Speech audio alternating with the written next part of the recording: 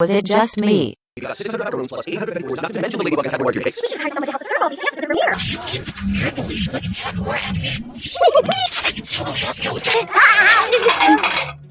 I'll hand the macaroons out to Adrien. I mean, What was that look?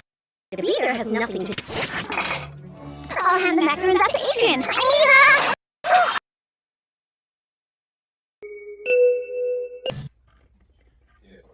That's suspicious.